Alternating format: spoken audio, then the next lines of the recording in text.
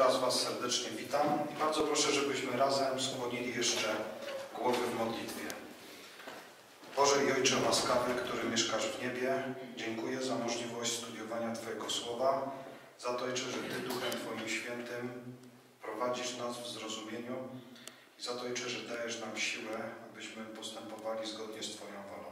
Pomóż, abyśmy nigdy się od Ciebie nie odwracali, a teraz bądź z nami w drogim imieniu Pana Jezusa o to prosimy. Amen. Zdradziłem Wam już, że chciałbym z Wami dzisiaj przestudiować temat poselstwa miłości. I mówiliśmy już wcześniej, że takim apostołem, który jest nazwany apostołem miłości, to jest właśnie Jan, najmłodszy z e, grona apostołów. Ale jest jeszcze ktoś inny, kto bardzo dużo na temat miłości też miał do powiedzenia. Pamiętacie kto? Z autorów Nowego Testamentu. Proszę? No nie Mateusz. Też nie Piotr. Paweł. Hymn, hymn o miłości. 13 rozdział pierwszego listu do Koryntian, prawda? Wspaniały hymn o miłości.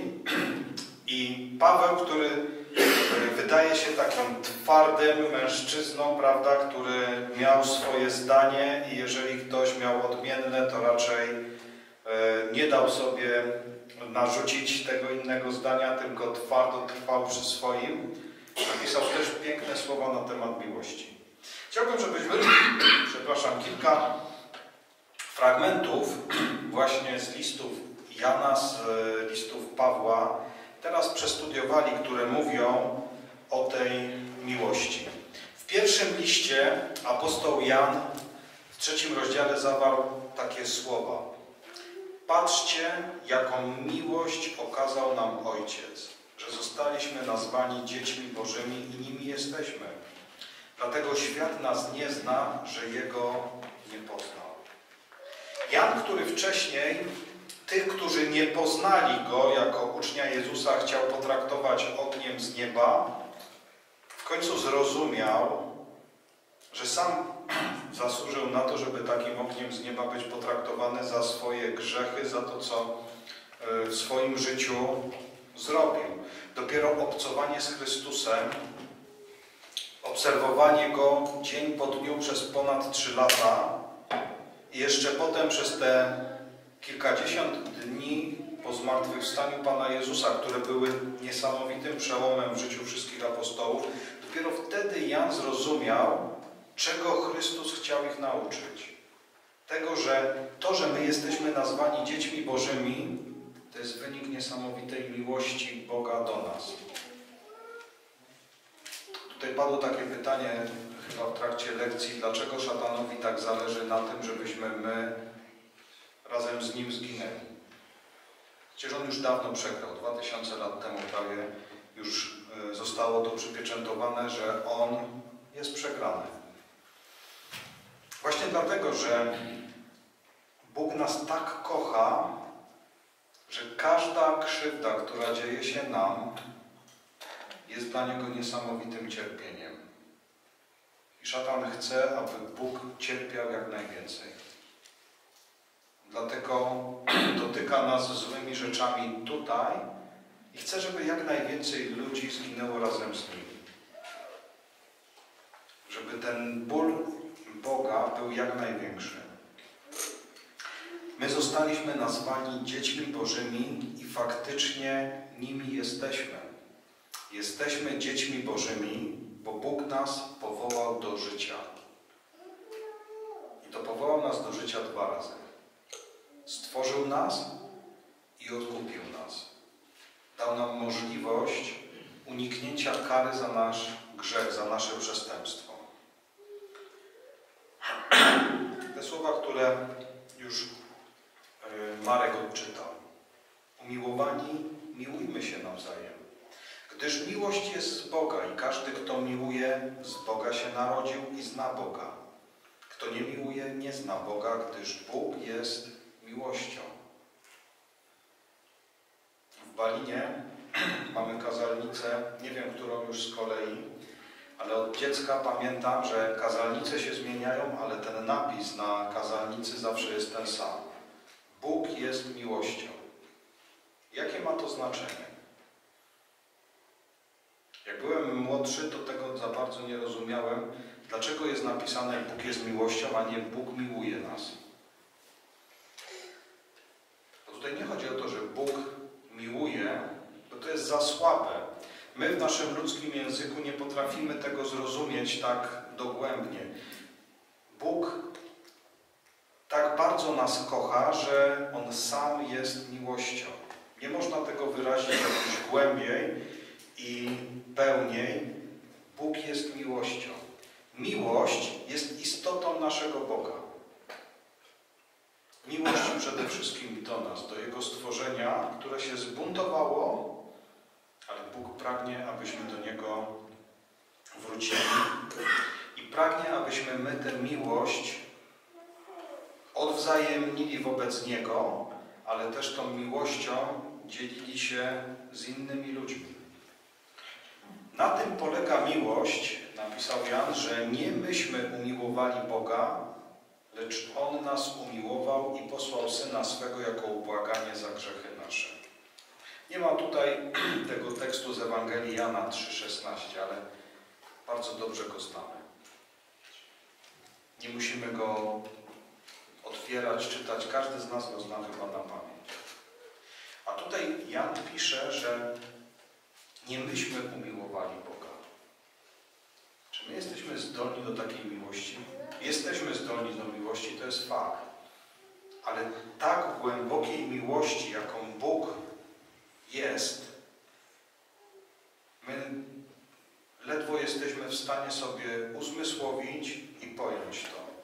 A ta miłość spowodowała, że Bóg stąpił z nieba i oddał swoje życie po to, żebyśmy my mogli żyć, żebyśmy byli zbawieni.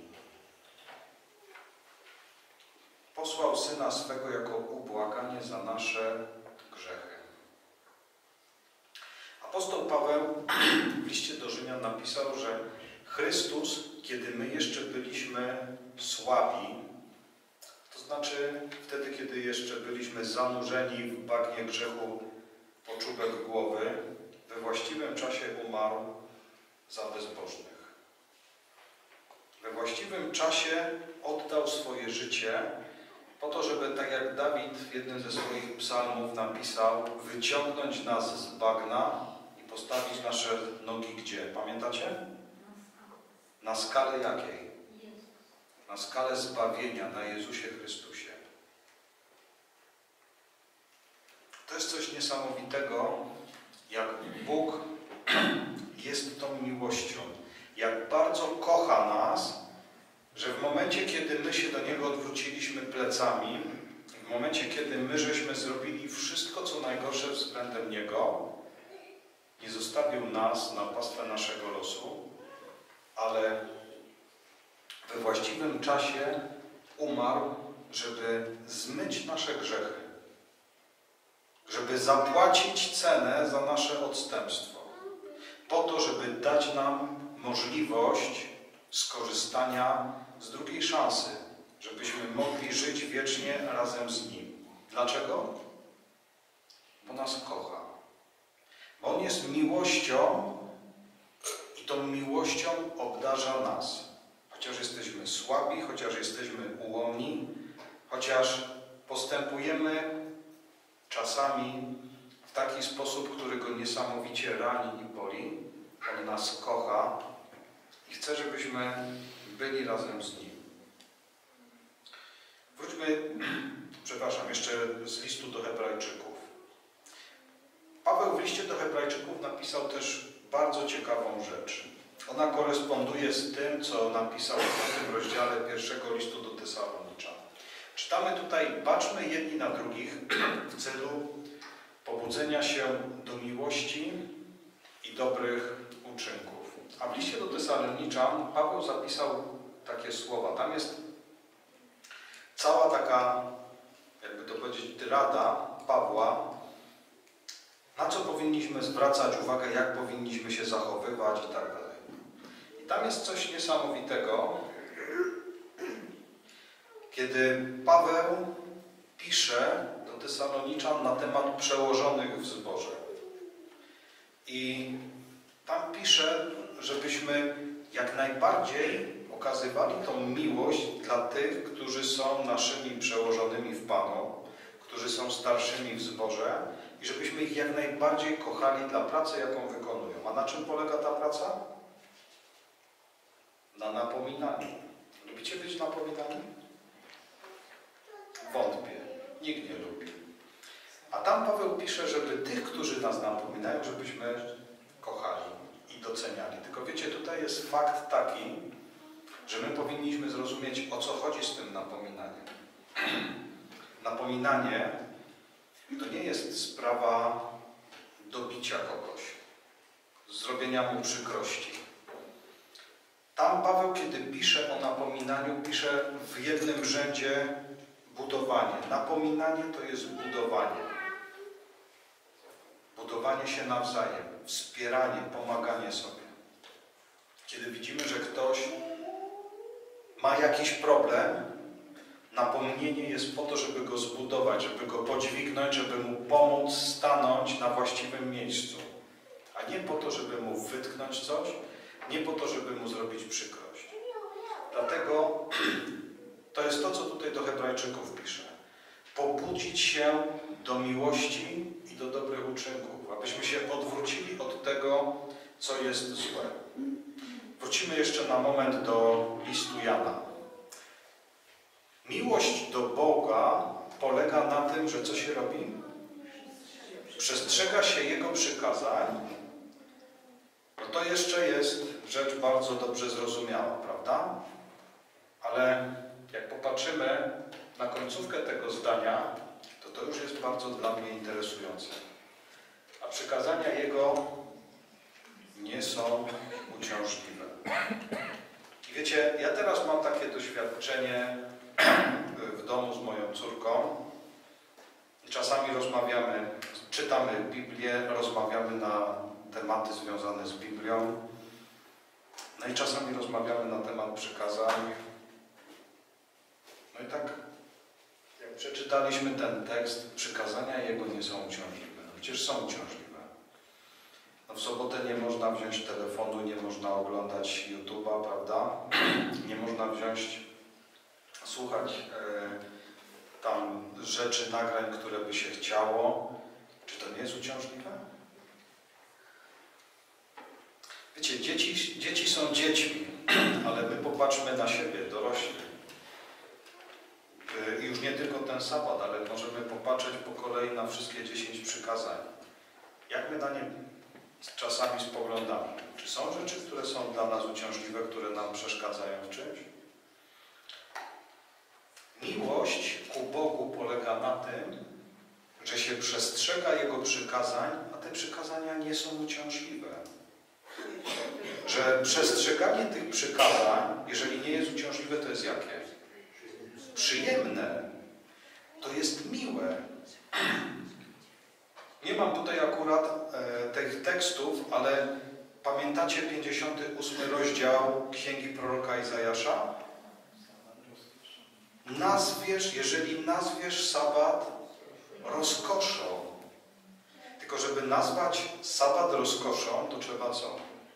Rozumieć, jakie on ma znaczenie.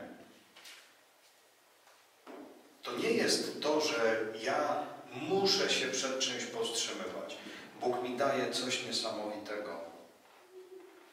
Ja nie muszę się zajmować tymi rzeczami, które robię przez sześć dni, bo Bóg daje mi coś niesamowitego.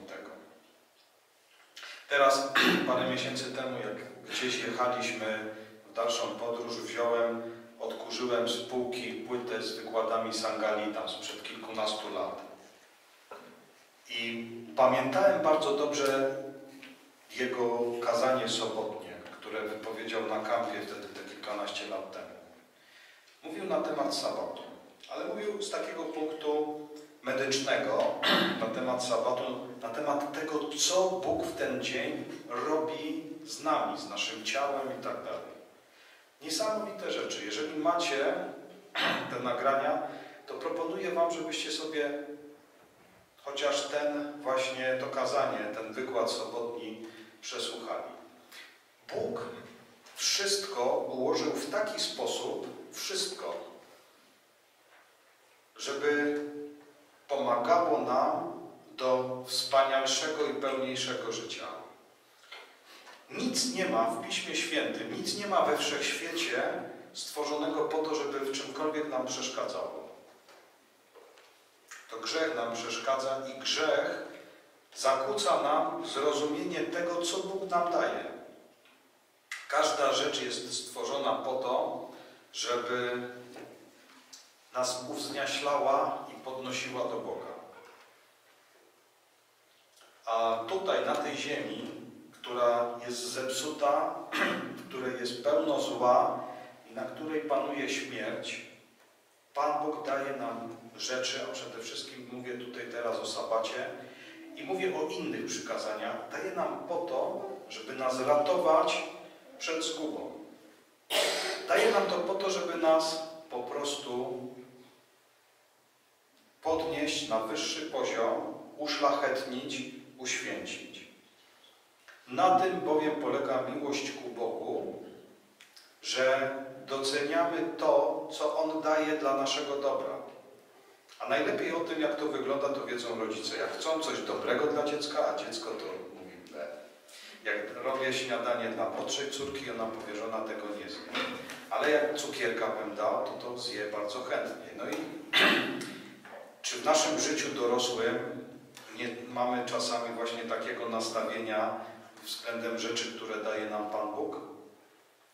Na tym bowiem polega miłość ku Bogu, że się przestrzega przykazań Jego, a przykazania Jego nie są uciążliwe, bo rozumiemy, po co Bóg te przykazania dał. A w drugim liście Jan napisał, a to jest miłość, abyśmy postępowali według przykazań Jego. Takie jest to przykazanie, które słyszeliście od początku, aby było zasadą waszego postępowania. Bo tutaj właśnie się pojawia pytanie, czym jest miłość? Czy miłość to jest uczucie? Miłość to nie jest uczucie. Pamiętam, 20 parę lat temu chodziłem na jakieś wykłady u nas w Chrzanowie. Jeden z kaznodziejów miał wykłady na tematy rodzinne. No i poszedłem, bo wypadało, nie interesował mnie zbytnio ten temat, ale e, to taki bardziej dla sióstr, prawda, nie dla braci. Ale wypadało, żeby iść. E, no to poszedłem i jedną rzecz z tego, tych wykładów zapamiętałem, jedną, jedyną, ale myślę, że warto było. On wtedy powiedział, że miłość absolutnie nie jest uczuciem. Dlaczego? On powiedział przykład taki. Jak możemy sobie wyobrazić, że miłość jest uczuciem, a my mamy miłować naszych nieprzyjaciół? Czy my jesteśmy w stanie wzbudzić w sobie takie uczucie, jeżeli miłość byłaby uczuciem, względem kogoś, kto jest naszym nieprzyjacielem? Miłość jest zasadą naszego postępowania. Miłość to jest sposób, w jaki my powinniśmy odnosić się do innych ludzi. Uczucie to jest coś przelotnego. Przychodzi, odchodzi, zmienia się, a zasady trwają. I miłość jest taką właśnie zasadą. Zasadą postępowania według Jego przykazań. Bo Boże przykazania streszczają się w słowie miłość. Miłość do Boga i miłość do bliźniego. Chciałbym, żebyśmy teraz zerknęli do Ewangelii Jana i na słowa i na słowa Pana Jezusa. W czternastym rozdziale zapisane są słowa, które Chrystus wypowiadał tuż przed swoim aresztowaniem. To jest ten ostatni wieczór po tej wieczerzy paschalnej, którą zjadł swoimi uczniami. Jezus powiedział, jeżeli mnie miłujecie, przykazań moich przestrzegać będziecie. Tydzień temu byłem w Krakowie i e, tam ten sam temat e, też rozważaliśmy. I po nabożeństwie podszedł do mnie taki młody człowiek, który jest e, Ukraińcem, pracuje w Krakowie i ze mną zaczął dyskutować. Nieważne jak ta dyskusja tam przebiegała, ale jego zdaniem, kiedy czytam te słowa tutaj z Ewangelii Jana, to wcale nie czytam o dziesięciu przykazaniach. Tylko mówię o przykazaniach Pana Jezusa. Natomiast dla mnie nie ma rozróżnienia Syn, Ojciec, Duch Święty. Dla mnie nie ma rozróżnienia przykazania Boże, przykazania Jezusa. Dla mnie to wszystko jest to samo.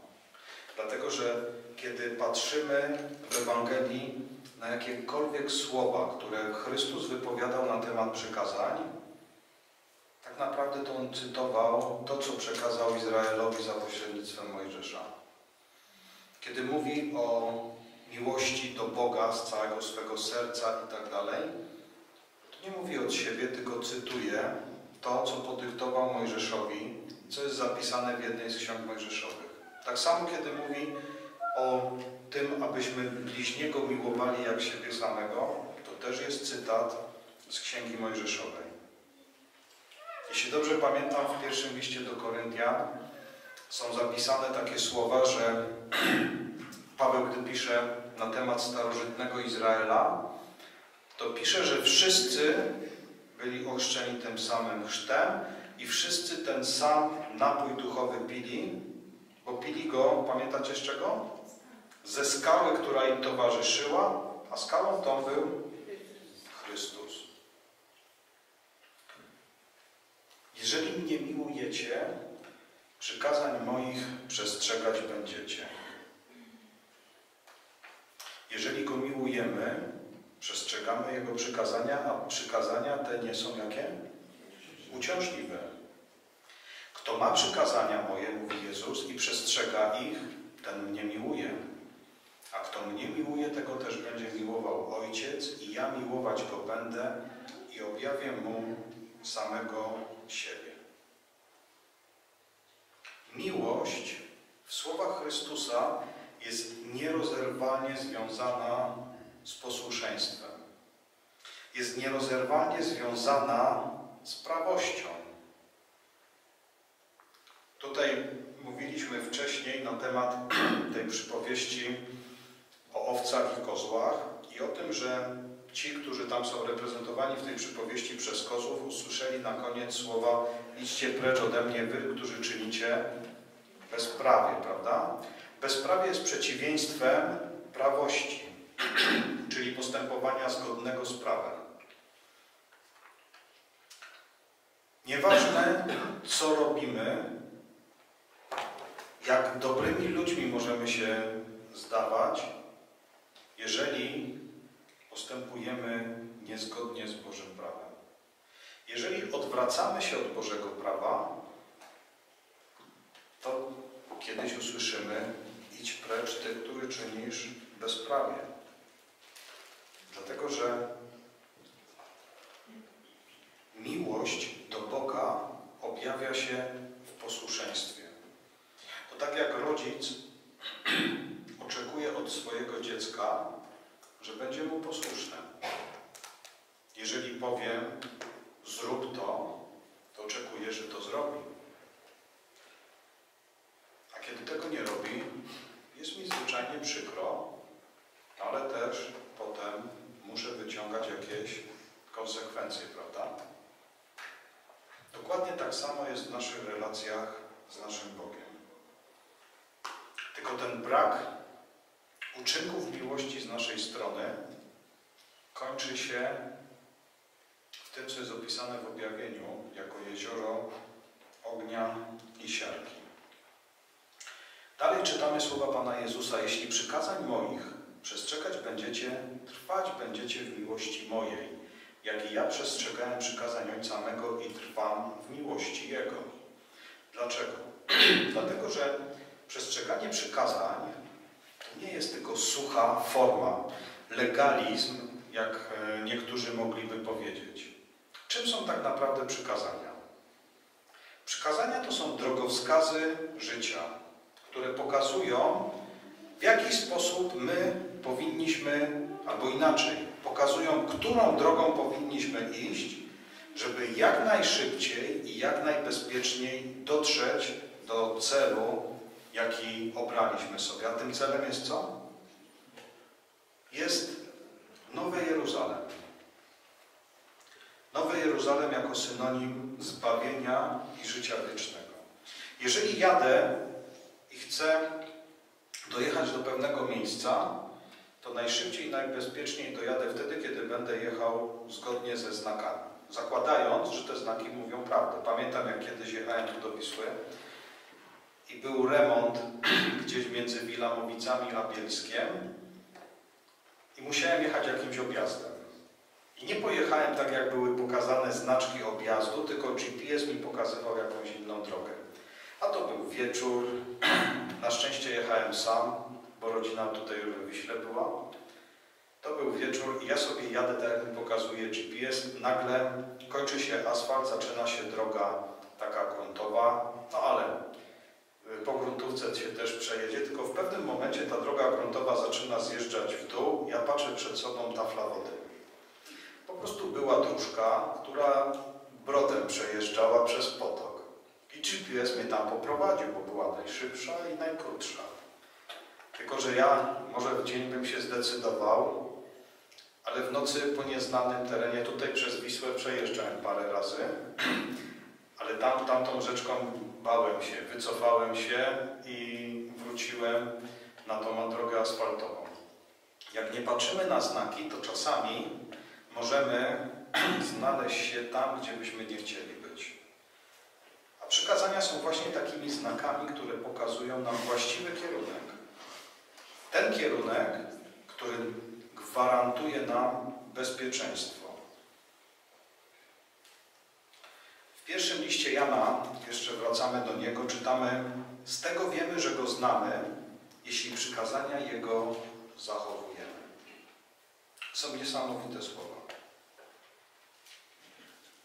Nie wiem, czy często zwracamy uwagę, jaki mocny akcent w Piśmie Świętym, zwłaszcza w Nowym Testamencie, właśnie jest dany na przykazania.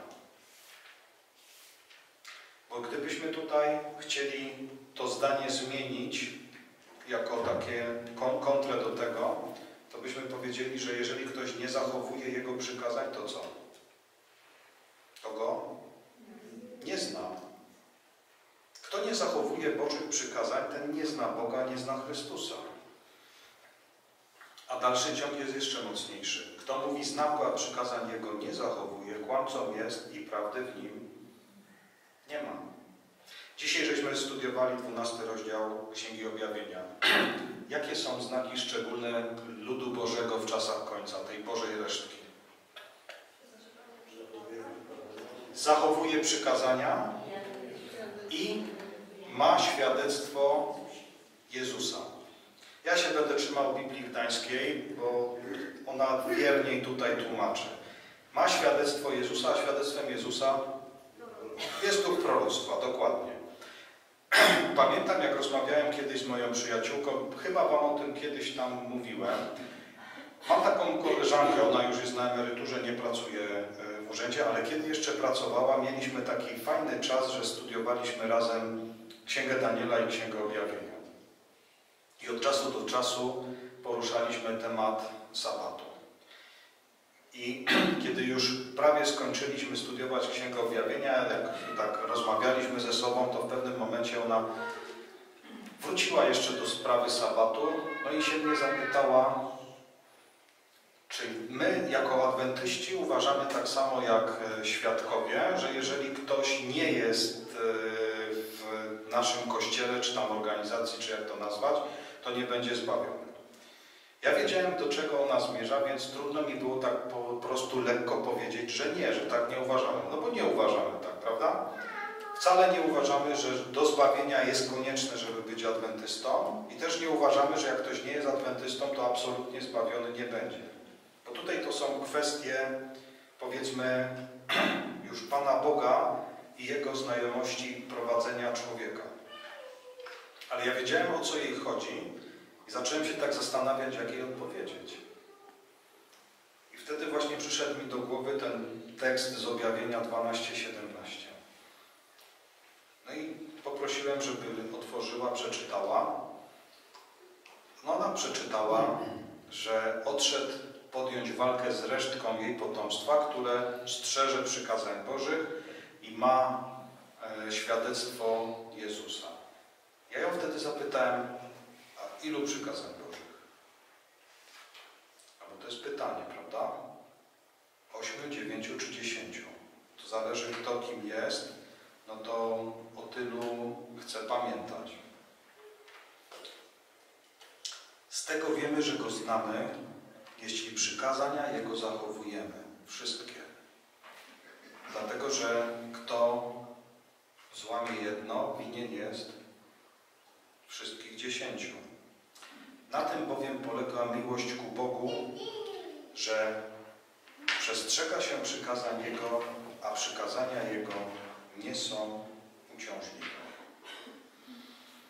Chciałbym, żebyśmy teraz popatrzyli na kilku takich Bożych posłańców miłości. Tych, którzy na temat tej miłości mówili do świata. I pierwszy, który mi przyszedł na myśl, kiedy e, układałem tutaj to rozważanie, jest Jan Chrzciciel. Jan Chrzciciel, o którym w Piśmie Świętym troszeczkę jest napisane, ale nie aż tak bardzo dużo. Zwłaszcza na temat jego misji to jest kilka króciutkich fragmentów, ale chciałbym, żebyśmy się przyjrzeli temu. W Ewangelii Mateusza w trzecim rozdziale czytamy, że w one dni przyszedł Jan Chrzciciel, karząc na pustyni judzkiej i mówiąc pokutujcie, albowiem przybliżyło się Królestwo Niebios. Jak myślicie, to poselstwo było popularne? Przynosiło duże efekty? Jak myślicie? Kręcicie głowami, że nie, ale pomylilibyście się. Bo czytamy, tylko y, tutaj zapomniałem, że mam jeszcze jeden y, cytat z życia Jezusa. Zanim przejdziemy dalej do tego poselstwa, y, jakie Jan Chrzciciel mówił i tego oddźwięku, jakie było, to popatrzmy na fragment z życia Jezusa, gdzie Ellen White napisała, że na temat Jana Chrzciciela oczywiście, przecierając szlaki dla pierwszego przyjścia Chrystusa, reprezentował również i tych wszystkich, którzy mają przygotować ludzkość dla powtórnego przyjścia naszego Pana. Czyli Jan Chrzciciel jest dla nas wzorem, w jaki sposób my powinniśmy dzisiaj, w tych czasach tuż przed powtórnym przyjściem Chrystusa, przekazywać Boże poselstwo innym. I czytamy dalej w Ewangelii Mateusza na temat Jana Chrzciciela, albowiem ten ci to jest, o którym Izajasz prorok mówił, wypowiadając te słowa. Głos wołającego na pustyni. Gotujcie drogę pańską, prostujcie ścieżki Jego. I czytamy, że wychodziła do Niego Jerozolima oraz cała Judea i cała okolica nadjordańska. Tłumy do Jana szły. I byli chrzczeni przezeń w rzece Jordanie, wyznając grzechy swoje. Natomiast Jan był takim dziwnym ewangelistą, bo zamiast się cieszyć, że ma tylu katechumenów i tylu chrzci, to co do po niektórych mówił takie słowa, że jakby dzisiaj kaznodzieja jakiś do kogoś coś takiego powiedział, to byśmy go chyba kamieniami uraczyli i wyrzucili dyscyplinarnie, yy, że postępuje niewłaściwie. Ale też byśmy może mieli troszeczkę racji, bo e, Jan Chrzciciel to był Jan Chrzciciel, a Pan Jezus też często podobnych ostrych słów używał, ale popatrzmy na te słowa. Jan, gdy ujrzał wielu faryzeuszów i saduceuszów przychodzących do szturzek do nich. Piękne słowa, tak? No ja teraz mówię z przekąsem. Plemię żmijowe. Kto was ostrzegł przed przyszłym gniewem? Wydawajcie więc owoc godny pokuty. Niech wam się nie zdaje, że możecie wmawiać w siebie ojca mamy Abrahama. Powiadam wam bowiem, że Bóg może z tych kamieni wzbudzić dzieci Abrahamowi. Dlaczego takie słowa z ust Jana Chrzciciela? Wtedy panowała moda na to, żeby się ochrzcić, żeby pokazać ten zewnętrzny znak, że ja jestem wierny Bogu, że ja chcę należeć do Boga i tak dalej. I teraz, kiedy ludzie przychodzili do Jana Chrzciciela. Jan Chrzciciel, wydaje mi się, miał dar rozróżniania duchów i wiedział, kto przychodzi szczerze, a kto przychodzi tylko po to, żeby ludzie go zobaczyli. Pamiętacie te słowa Pana Jezusa na temat faryzeuszy, którzy stawali na rogach ulic i się tam modlili, żeby było to widoczne, jak najwięcej ludzi widziało tę ich w cudzysłowie pobożność? Jan chciał dotrzeć do serca tych ludzi, żeby oni zrozumieli, że nie jest ważne to, co jest na zewnątrz, to, co jest pokazane, ale ważne jest to, czy ja chcę doznać zmiany mojego serca. Dlatego, że tak jak te następne słowa będą o tym świadczyć, czas jest bardzo bliski. Jan mówił, już siekiera do korzenia drzew jest przyłożona. Wszelkie więc drzewo, które nie wydaje owocu dobrego, zostaje wycięte i w ogień wrzucone. Czy to jest poselstwo miłości? To jest poselstwo miłości. Dlatego, że miłość to jest coś, co każe nam dawać z siebie wszystko i miłość nie pozwala nam komuś się narzucać wbrew jego woli. Jeżeli ktoś nie chce, to nie możemy go zmusić. I prawdą jest to, co czasami jest powtarzane, co możemy w komentarzach do pobudek porannych przeczytać czasami, że Pan Bóg tak bardzo kocha człowieka, że nie zmusi go do życia wiecznego. Jeżeli ktoś nie chce odwzajemnić tej Bożej miłości, to zginie.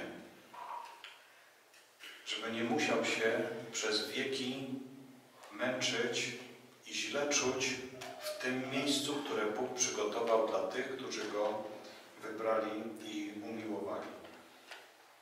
To drzewo zostaje wycięte i w ogień wrzucone.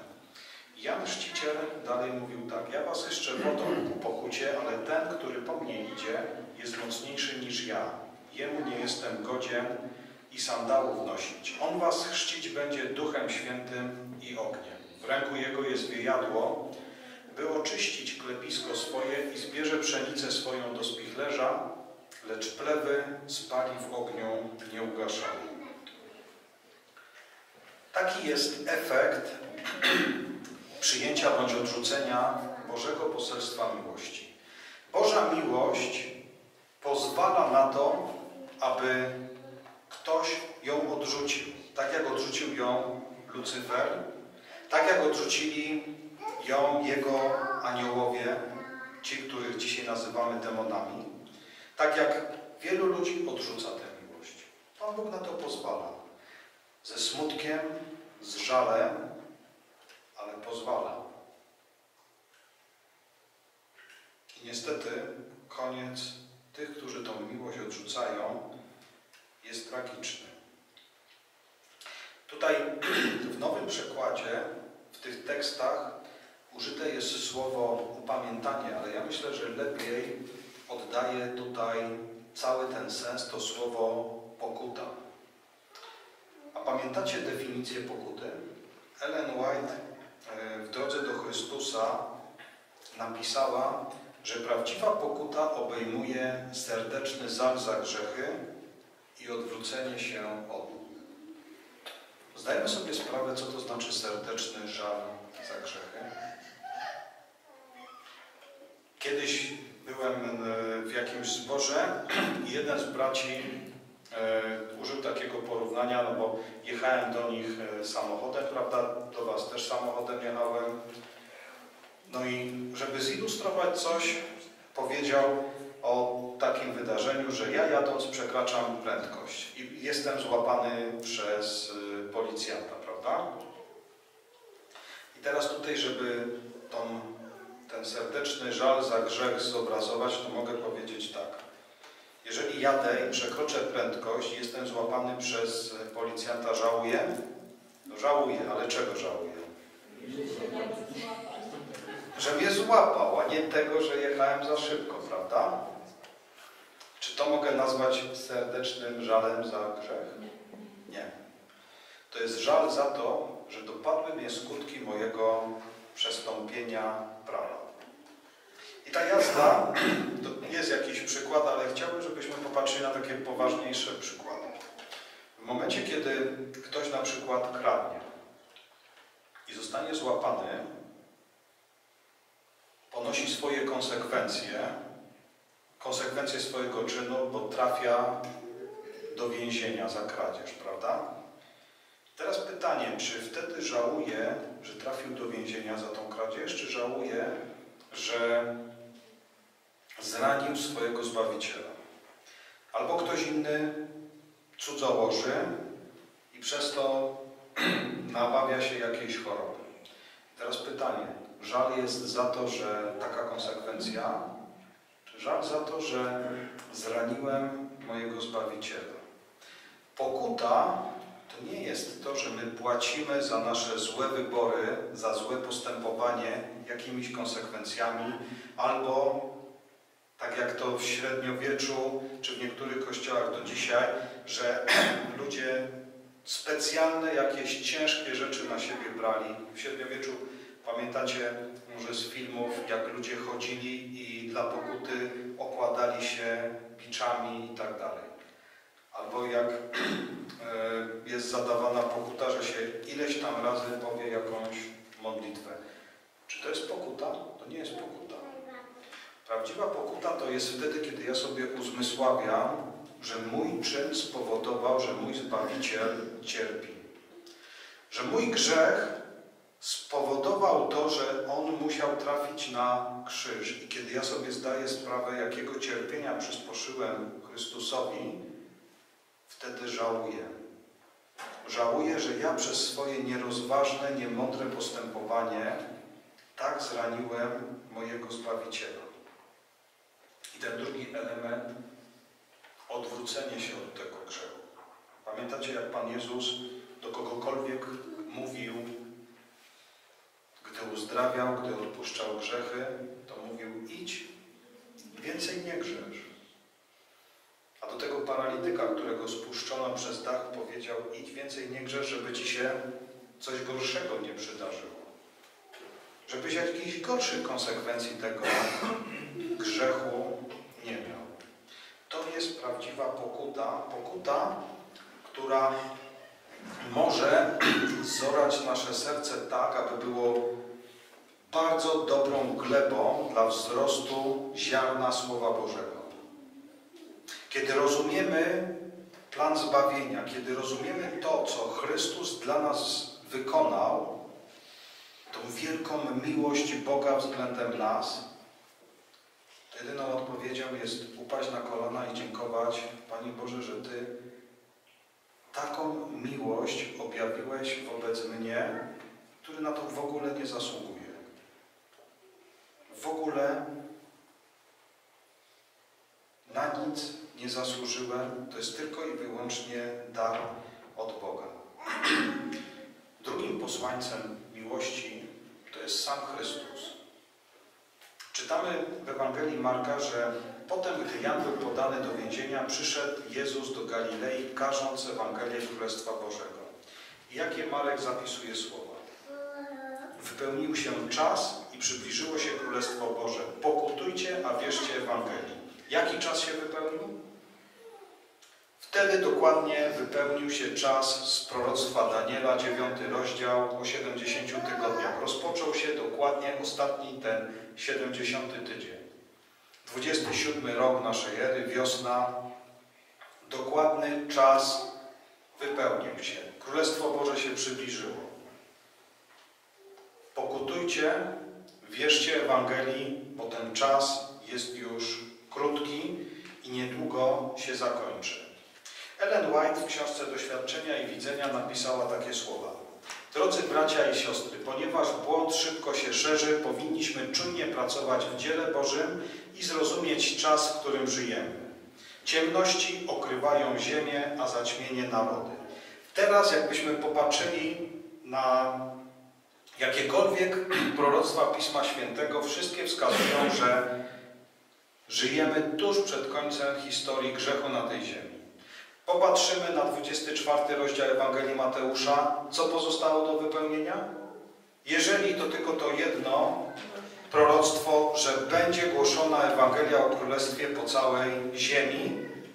I potem jest ta końcówka, a wtedy nadejdzie koniec. Teraz studiowaliśmy o zborach, o pieczęciach, o trąbach, prawda?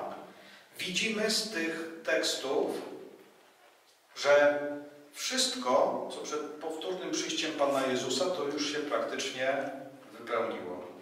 Pamiętacie, w której pieczęci żyjemy? W szóstej. A ta szósta pieczęć to, są, to jest mowa o zaćmieniu słońca, o tym krwawym księżycu, o spadaniu gwiazd. A następna rzecz jaka jest? Że niebo zwinięte będzie jak zwój. Kiedy? Kiedy Chrystus powróci. Czyli następny element z tego królestwa to jest już moment powrotu Chrystusa. Także w tej klepsydrze to zostało parę ziarenek do przesypania i my musimy sobie zdawać sprawę, w jakim momencie żyjemy, żeby nas ten czas nie zaskoczył. Ellen White napisała dalej tak. Widziałam, że drzwi, którymi wchodzi wróg, a tym wrogiem jest kto? Szatan, by siać zamęt i niepokoić trzodem, mogą być zamknięte. Zapytałam anioła, jak to może się stać? Anioł odpowiedział, zbór musi uciec się do Słowa Bożego i być ustanowiony według porządku Ewangelii, a to jest niezbędne w celu doprowadzenia zboru do jedności wiary. Szatan chce skonfliktować nas ze sobą.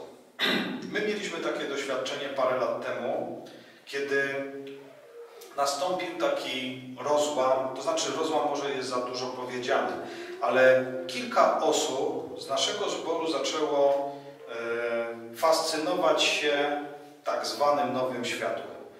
Bajkami, które ktoś im podrzucił. W ogóle nie chcieli słuchać, jak e, chcieliśmy z nimi rozważać to na gruncie Pisma Świętego i tak dalej. I pamiętam, jak cały rok po prostu mieliśmy tak jakbyśmy mieli związane po prostu ręce. Nie szło nam ani praca ewangelizacyjna, ani nic, bo staraliśmy się ratować te kilka osób. Diabeł wiedział, że jak doprowadzi do tego, żeby w zborze powstał taki rozdźwięk, to podetnie nam nogi, że my nie będziemy e, mogli tyle sił i tyle zaangażowania dać w głoszenie Ewangelii i w szukanie innych, którzy mogą być wyrwani jeszcze do Królestwa Bożego.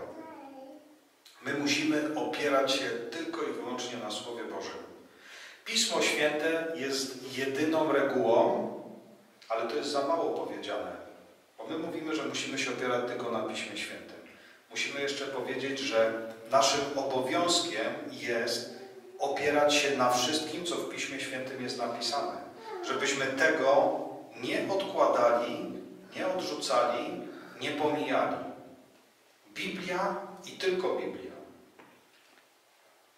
Dalej Ellen White pisze tak. Widziałam, że w czasach apostolskich zbór znajdował się w niebezpieczeństwie bycia zwiedzonym i oszukanym przez fałszywych nauczycieli. Dlatego też bracia wybrali mężów mających dobre świadectwo, otrzymując swoje upoważnienie od Boga oraz zatwierdzenie przez zbór, poszli w świat, aby chrzcić w imię Ojca, Syna i Ducha Świętego, jak również przeprowadzać obrządki domu pańskiego. Musimy być uświęceni przez prawdę oraz całkowicie poświęceni Bogu i tak wyżywać nasze święte wyznanie po to, aby Pan mógł nam udzielać coraz więcej światła te talenty, te dary, które otrzymaliśmy, musimy wykorzystywać, a wtedy Bóg da nam więcej. Musimy pozwolić Mu wypełnić tą obietnicę, jaką zapisał w księdze Ezechiela. Pan Jezus, y, Pan Bóg powiedział przez Ezechiela, dałem wam moje sabaty, żeby były znakiem między mną a wami, że ja jestem kto? Pamiętacie? Że ja jestem Bogiem, który was uświęca. A co to znaczy uświęca? Sprawia, że stajecie się jacy? Coraz świętsi, że wznosicie się na coraz wyższy poziom. Bóg chce, abyśmy my byli do Niego jak najbardziej podobni. Wiecie, Chrystus kiedyś przyszedł na ten świat jako niemowlę, prawda? Co roku w grudniu świat sobie o tym przypomina. Tylko najważniejsze dla nas jest to, że On teraz przyjdzie jako król królów i pan panów. Nie przyjdzie jako słabe niemowlę, które gdzieś wstające się urodziło, ale przyjdzie jako władca wszechświata i możemy powiedzieć jako egzekutor Bożego wyroku. Przyjdzie wyegzekwować to, co teraz na sądzie w niebiańskiej świątyni jest rozstrzygane. I dla nas ten czas, który teraz mamy, jest bardzo istotny, dlatego że w tym czasie my możemy otrzymać Bożą pieczęć. A ta Boża pieczęć przede wszystkim wiąże się z ukształtowaniem naszego charakteru na obraz i podobieństwo charakteru Bożego. Ellen White napisała też w książce Doświadczenia i Widzenia bardzo ważne ostrzeżenie. Chciałbym, żebyście skupili się, już niedługo będziemy kończyć to rozważanie. Szatan polecił swym aniołom, aby byli czujni i powalali wszystkich tych, których się da, aby odkrywali kapryśne usposobienia i ulubione grzechy tych, którzy wyznają prawdę i tak wokół nich szerzyli ciemności, aby przestali być czujnymi i poszli drogą zniesławienia dzieła, które, jak twierdzą, miłują, przynosząc zmartwienie zborowi, tak zwiedzeni i niepilnujący się zostaną w końcu otoczeni jeszcze większą ciemnością i światło niebiańskie oddali się od nich. Wówczas nie będą już w stanie dostrzec usilających ich grzechów, a szatan będzie coraz bardziej zaplątywał ich w swe sieci, aż staną się jego zdobyczą. Czy mamy jakiś mój ulubiony grzech? Jakąś rzecz, którą połubię w swoim sercu? Która jest otwartą furtką w moim życiu dla sił zła, dla szatana? Każdy z nas musi sobie odpowiedzieć na to pytanie, dlatego że jeżeli jest coś takiego, to może stać się dla nas przyczyną upadku i utraty życia wiecznego. Pan Jezus, zapisane to jest z Ewangelii Łukasza, powiedział do swoich uczniów, którzy usłyszeli wieści o pewnych Galilejczykach. O Galilejczykach, którzy nie byli zbytnio lubiani. Nie wiem dlaczego. Może mieli jakieś trudniejsze charaktery, ale nieważne. Ci Galilejczycy przyszli do Jerozolimy po to, żeby złożyć ofiary, ale akurat Piłat potrzebował y, jakiegoś pokazu siły i w świątyni jego żołnierze zabili tych Galilejczyków. I dla ludzi, dla Żydów wtedy e, to był taki znak, oni musieli być niesamowitymi grzesznikami, skoro Pan Bóg tak ich pokarał. A Pan Jezus mówi coś innego. Czytamy w Ewangelii Łukasza tak. W tym samym czasie przybyli do Niego niektórzy z wiadomością o Galilejczykach, których krew Piłat pomieszał z ich ofiarami i odpowiadając rzekł do nich, czy myślicie, że ci Galilejczycy byli większymi grzesznikami niż wszyscy inni Galilejczycy, że tak ucierpieli? Bynajmniej. Mówię wam i owszem, jeżeli nie będziecie pokutować, wszyscy także poginiecie. Pokuta jest naszą koniecznością. Pokuta jest naszą odpowiedzią na Bożą miłość. Boże poselstwo miłości do nas brzmi nawróć się do mnie. Pokutuj, odwróć się od swoich grzechów.